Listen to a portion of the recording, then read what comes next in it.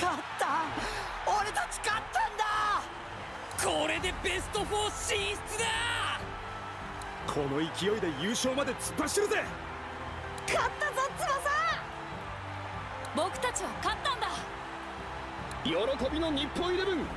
全員がキャプテン翼くんのところへ。みんな。そうだ。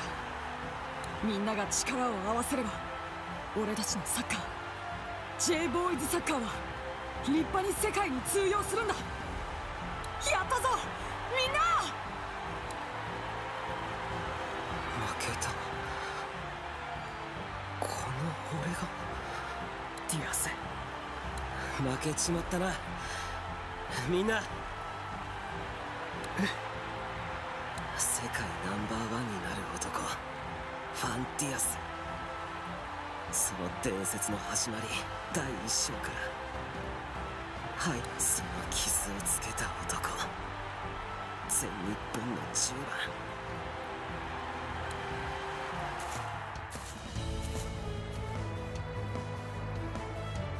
へい10番。ディアス。名前を名前を教えてくれ。翼。大空翼だ翼かうん。その名前。一生忘れないぜ。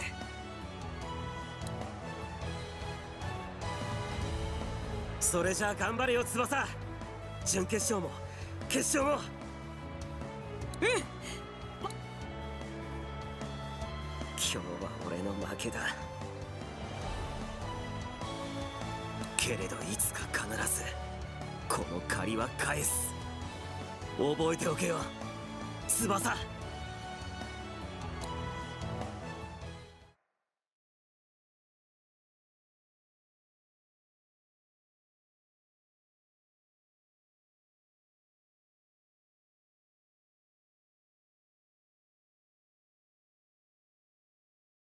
翼。お前は本当に成長したんだな。キャプテンとしてゲームメーカーとして。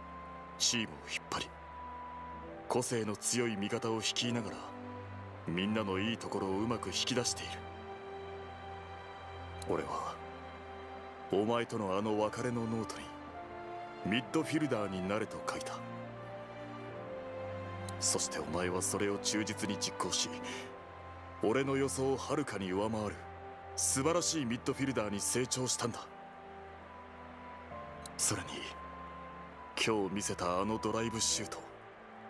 あれは俺が教えようとしたシュートを超えている。翼の想像力が生んだ翼のドライブシュートだ。俺がいなくても翼お前はの片桐さ。ん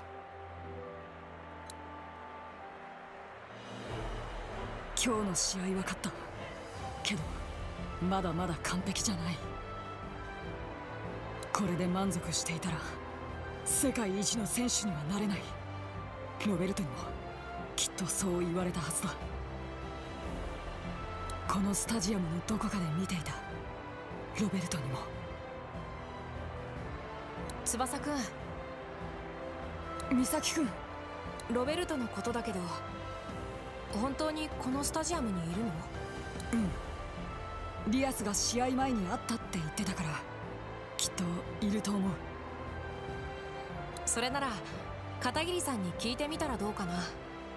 片桐さんは代表のことでアメリカのサッカー関係者といろいろと話をしているみたいだしもしかするとロベルトのことを聞いているかもしれないよ。そうか。ありがとう美咲くん。夜は必ず宿舎にいるはずだからその時に聞いてみよう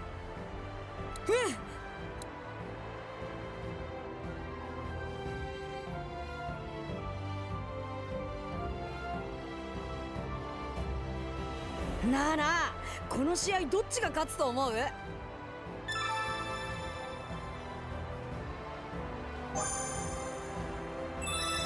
んだよ当たり前の予想じゃんか。つまんねえな。仕方ないよ。この大会のフランスは圧倒的だからね。フランスは全試合で4得点以上で失点はゼロか。確かにすげえな。フランスはどちらかといえば守備が弱点でピエールが守備に回ることもあったくらいなんだけどね。その守備がジャンの加入で安定したから安心して攻めることができてるんだね。うん。ジャンのおかげで守備の負担から解放されたピエールがその才能を全力で攻撃に振り向けている。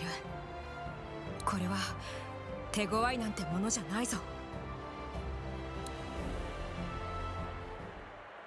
前半15分。ここまでフランスがナポレオン君のゴールで1点リード。優位に試合を進めています。早く追いつきたいウルグアイ。ボールをエースのビクトリーノ君に集める。さあそのビクトリーノ君にボールが渡った。南米の黒豹の異名通り素晴らしいスピードでフランス陣内に攻め上がる。1点くらいすぐに追いついてやるぜ。あっとそのビクトリーノ君にフランスの選手が肉薄。これはジャン君だ。何？この俺のスピードと互角だと？互角などであるものか。き消えた。こっちだ。な何？あっとジャン君ビクトリーノ君からボールを奪った。あいつトップスピードのままビクトリーノの死角に回り込みやがった。すげえさあ再びビクトリーノ君にボールが渡った。フランスのディフェンスを柔らかなボールタッチのテクニックで次々と抜き去っていく。そのビクトリーノ君に凄まじいダッシュでジャン君が接近する。今度はテクニックで勝負だ。好きにすればいい。どのみち僕の勝ちは揺るがない。あっとビクトリーノ君再びジャン君にボールを奪われてしまった。南米のテクニックとはこんなものか。ピエール。ジャン君すかさずピエール君にパスだ行くぞナポレオン。エッフェル攻撃だ。おう。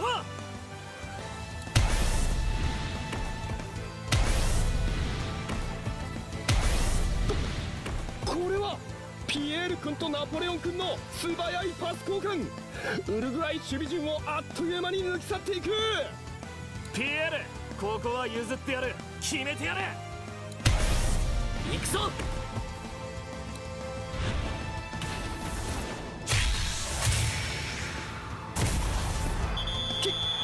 決まった。フランス電光石火の追加点。決めたのはキャプテンのピエール君だ。あの二人のコンビネーションまるで翼と岬だぜ。うん。ナポレオンはシュートに目が行きがちだけど実はパスもすごくうまいんだ。それにしてもピエールにあんなシュートがあったなんてのシュート。ゴールキーパーの直前で落ちたように見えた。多分ドライブシュートに近いテクニックだよ。ドライブシュートは回転をかけながら上に上げることを意識して打つんだけど。あのシュートは回転をかけながら前に押し出すようにして打っているんだと思う。なるほど。ドライブシュートの応用なんだね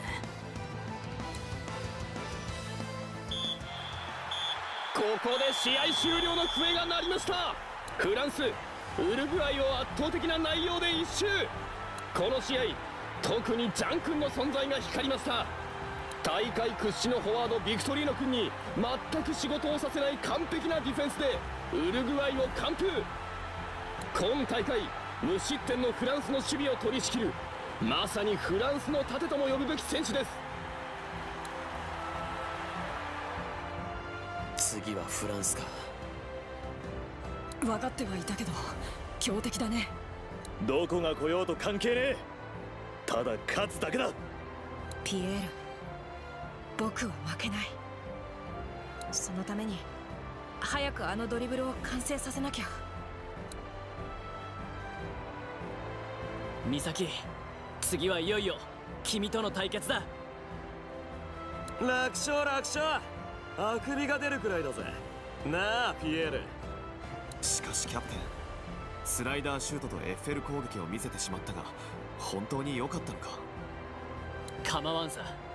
これまでの俺たちだったら確かに温存すべき技だったかもしれないが今の俺たちにはあれがあるからな。そうか。そうだな。俺の世界一まであと2つか。やってやるぜどうぞ。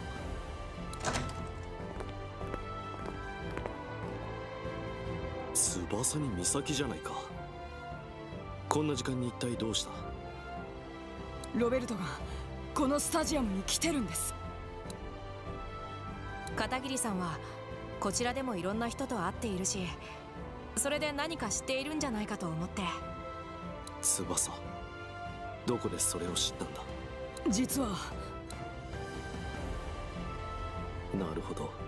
そういうことか。ロベルトさんがアルゼンチンのバルバス監督と知り合いだったとはな。そんなところから漏れるとは思わなかったよ。じゃじゃあディアスが言っていたことは？ああ本当だ。ならならばどうして俺に教えてくれなかったんですか？翼くん。それについては私も悩んだだがロベルトさんから頼まれたんだ。じそんなとそれは。ロベルトがそんなことを。ロベルトさんも悩んだ末の苦渋の決断だったんだ。そのことは辛いだろうが分かってあげてほしい。それで今ロベルトさんは？まだこの島のどこかの施設にはいるはずだ。だが監督を務めているジュニアチームがアメリカの別の州の親善大会に招かれていて今晩遅くに立つと言っていた。今晩ですか？ああ。翼くん今ならまだ会いに行けるかも。ロベルトに。翼くん俺どうして？あんなに会いたがっていたのに。そりゃ本当は会いたいよでも今俺はこの代表のキャプテンだ。一人勝手な行動は取れないよ。翼。それに何よりもロベルトはサッカーをやめたわけじゃないって分かったから。だから俺もずっとサッカーを続けていけばきっとまたどこかで会える。翼くん。翼お前は心の底からキャプテンなんだな。待っていてくれ。私が必ず。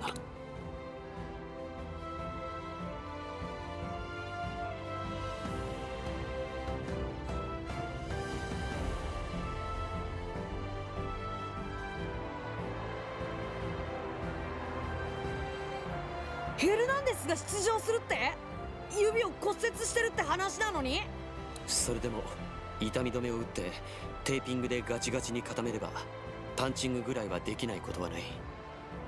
けど一本シュートを止めるごとにとんでもないダメージがたまるぜ。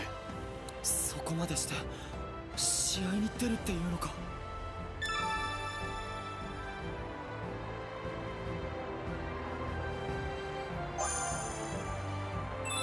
それだけチームに欠かせないキャプテンってことなんだろう特にあのルチアーノがヘルナンデス以外の選手の言うことを聞くとは思えないからな。さあ開始から攻めるブラジル。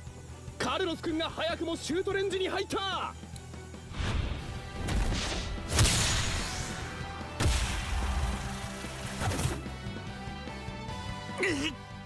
ヘルナンデス君ナイスセーブ。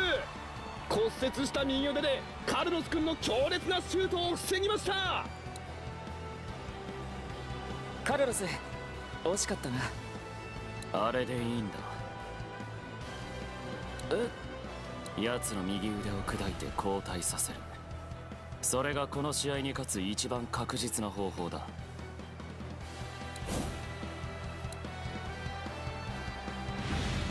さあイタリアの反撃ルチアーノ君がブラジル陣内に切り込んでいく。出た！ここでルチアーノ君の必殺シュート！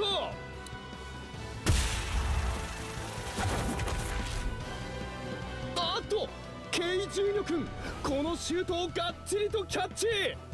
な何？俺のシュート 君みたいなファンタジスタと戦えて本当に嬉しいよ。俺もゴールキーパーのファンタジスタを目指しているからね。ゴールキーパーがファンタジスタだと？そうだよ。何かいけない？と話してる場合じゃないね。ほらアルベルト。行くぞレオ。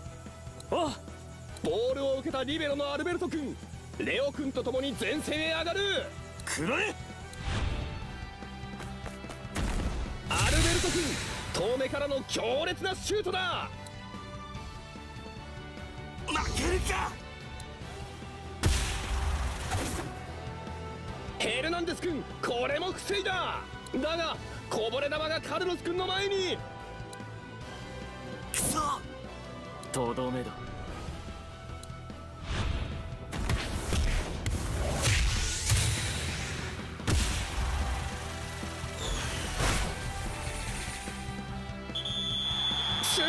決まったカルロス君のシュートがヘルナンデス君の黄金の右腕を攻略したあーっとヘルナンデス君その右拳を押さえ込んだまま動けない。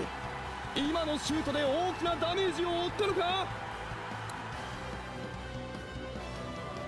くそ。この右腕が万全ならば。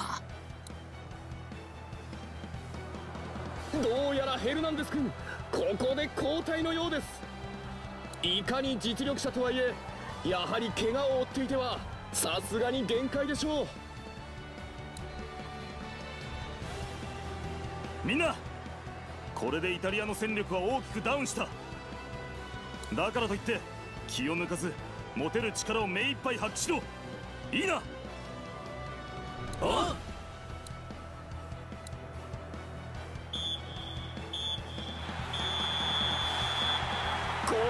試合終了。ブラジルイタリアを大差で下しベスト4に進出。守りの堅いイタリアといえど控えのゴールキーパーではカルロス君やアルベルト君のシュートの相手はあまりに荷が重すぎました。そして1人攻撃を任されたルチアーノ君もヘルナンデス君が去った後は動きに制裁をかき後半に途中交代。一方ブラジルは要所でキャプテンのアルベルト君が劇を飛ばしようやくチームがまとまってきた様子。これで準決勝のブラジルが楽しみになってきました。ブラジルが勝ったか。まあヘルナンデスが途中交代しちゃうな。案の定ルチアーノもそこでやる気をなくしたみたいだしな。それにしてもヘルナンデスのあの意地は立派だぜ拳が砕けてもゴールを守る根性か。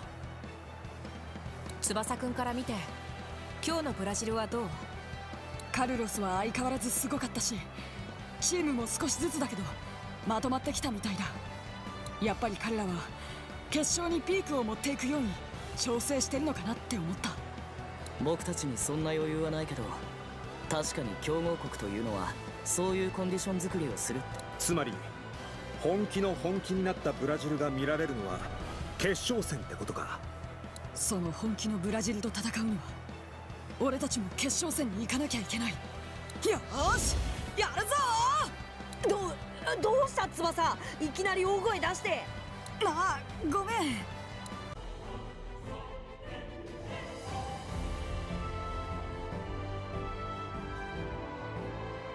やっぱこの試合もドイツの方が有利なのかな？アメリカも強いらしいがさすがにドイツの方が強いだろうな。なあアメリカベンチ見て思ったんだけどよ。アメリカって10番がいないのな。そういや俺たちとの試合にも10番の選手って出てなかったな。10番の選手も登録はされているが何でもコンディションが良くないとかでこの大会まだベンチ入りもしていないようだ。ええなんかかわいそうだな。自分の国での大会なんだし楽しみにしてただろうにな。うん。試合に出たくても出られないのは辛いものだよ。そう考えればハイネはよくこの大会に間に合ったもんだ。俺たちハンブルクとの試合で怪我をした時の様子だととても間に合いそうになかったけどな。私がドイツの知り合いに聞いたところ彼はアメリカに渡って最先端の医療技術で治療していたようだ。アメリカの医療は進んでるって言いますからね。そのハイネが中盤を抑えたらこの試合ドイツが完勝するぜ。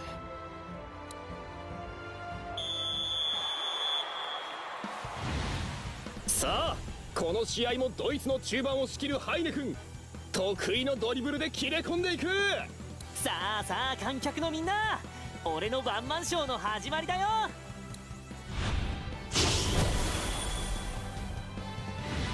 今日もハイネ君のドリブルは好調だ。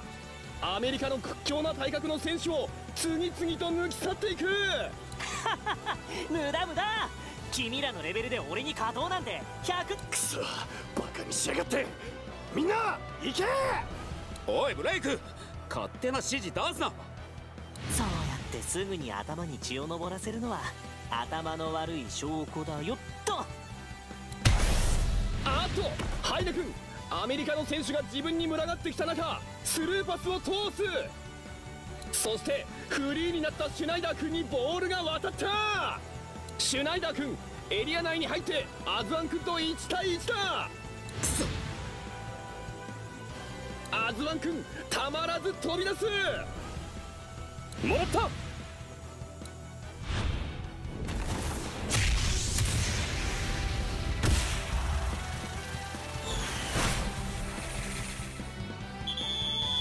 イツ先制点。やはり決めたのはエースシュナイダー君。ゲームメーカーハイネ君とのホットラインは今大会ドイツの大きな武器になっています。シュナイダー。あのアズワンからあっさり点を取りやがった。シュナイダーにあの距離まで詰められたらどんなゴールキーパーだって防ぐことはできないさ。さあ先制点を奪われたアメリカ反撃に移る。お前ら俺にパスを持ってこい。すぐにブレイクシュートで決めてやるぜ。ドイツゴール前に走るブレイク君そこに向けてパスが出る。何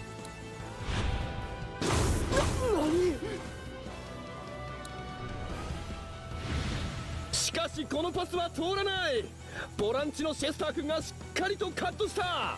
そんな単純な手が俺に通じるものか。カルツ！シェスター君間髪を入れずカルツ君にパス。おいよここは行かせてもらうぜ。そいつを止めいやハイデのマークにつけドイツの中心はそいつだアメリカブレイク君の指示でハイネ君にマークがつく。行くぜハイネ。あっとカルツ君これはパスミスか？ボールはハイネ君にではなくあらぬ方に飛んでいく。飛んだ下手じゃ。嘘だろ。いやこれはパスミスではない。ボールの落下点にマーガス君が走り込む。へへ俺を忘れちゃ困るぜてめえのヘディングごとき俺が止めてやるぜ。行くぜ。シュナイダー！何？マーガス君シュートには行かない。ヘディングで横に振る。そしてそこにマークを外したシュナイダー君が走り込む。ナイスマーガス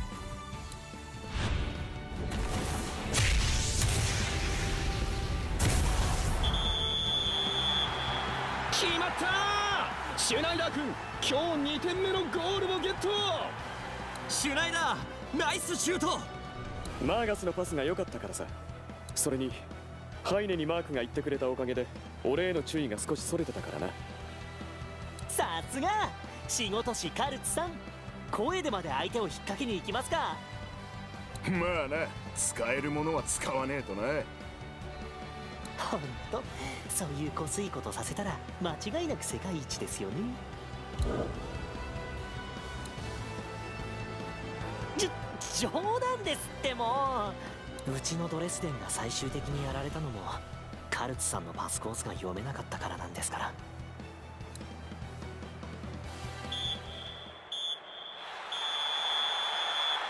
試合終了。ドイツ全く危なげなくアメリカを破りベスト4進出。ハイネ君が中盤を制しシュナイダー君マーガス君が攻めチェスター君カルツ君が反撃を止める。ドイツにとっては理想的な展開の試合でした。そして勝ったドイツの次の相手は先ほどの試合で勝ったブラジル。今大会の優勝候補同士が激突する注目のカードとなりました。おいアズワてめえ何点取られりゃ気が済むんだ。はあ？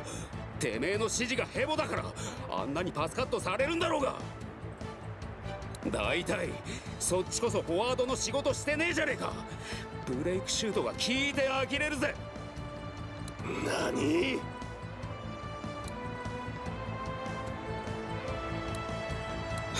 やめだああこんな試合起こる価値もない。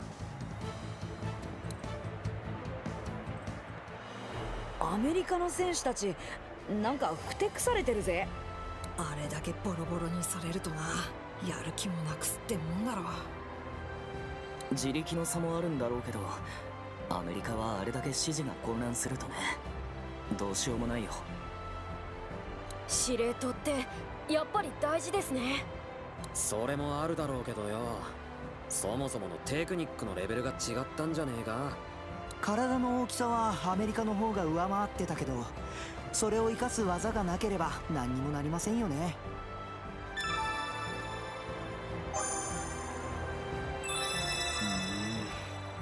別に否定はしないけどさそれ言われると俺みたいに体が小さいやつはどうすりゃいいんだってことになるんだよな。佐野何も体の大きさだけが全てではないたい。お前や立花兄弟の身の軽さは体が小さければこそたい。地頭さんもちろん身の軽さの上に強い筋肉がつけばもうそれは鬼にかなぼうたい。というわけで今日はわしの筋トレに付き合うたい。か勘弁してください。地頭さんと同じメニューやったら俺潰れますって。うーんそういうちょっとした無茶が真に強いフィジカルを生むんじゃがの佐野さんっていろいろ大変な人なんだな。これで次はブラジルとドイツの勝負か。複雑だね。二人とも。いや。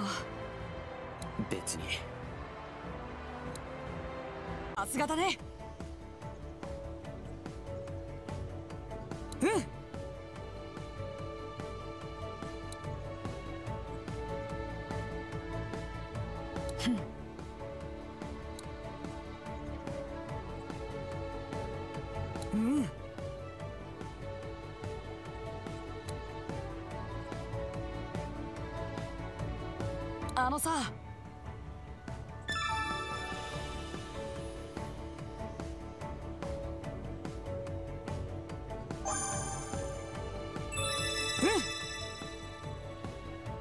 頑張るぞ。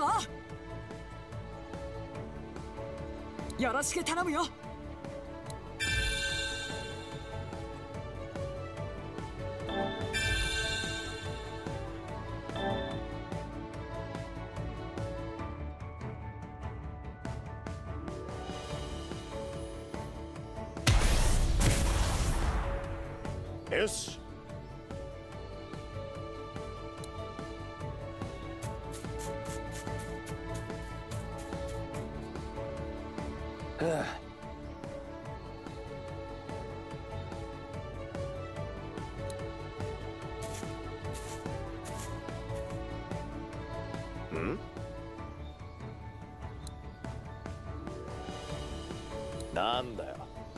なんか用か